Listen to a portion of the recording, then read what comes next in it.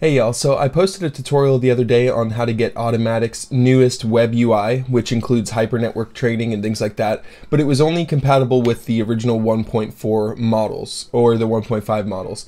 And now that Stability came out with the new 2.0 models, all of us were wondering how to integrate that into Automatic's web UI, and I just found out this morning how easy it really is, and I'm going to show you right now. All you have to do is go to your Automatic web UI install folder, and go to Models, and then Stable Diffusion and drop the 768 model in. So just a side note, it's only working with the 768 trained model right now, but that's actually a good thing because it's higher resolution.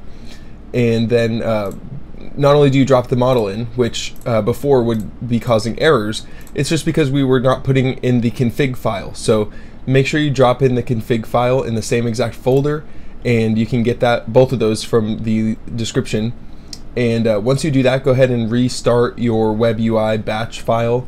And that's literally all you have to do. So now you'll be able to choose the 768 model up in the corner and you can start generating art at 768 and beyond.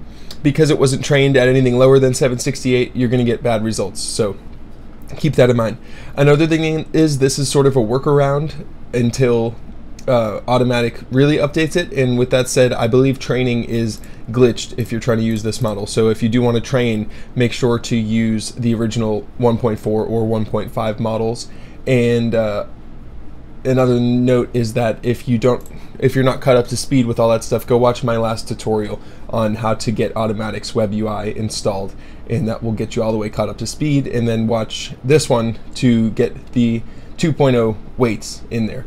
But yeah, that's all there is to it, and uh, you're able to ready, readily pump out 768 quality images, which is really going to help our generation game. So thanks for watching, and make sure you subscribe for more.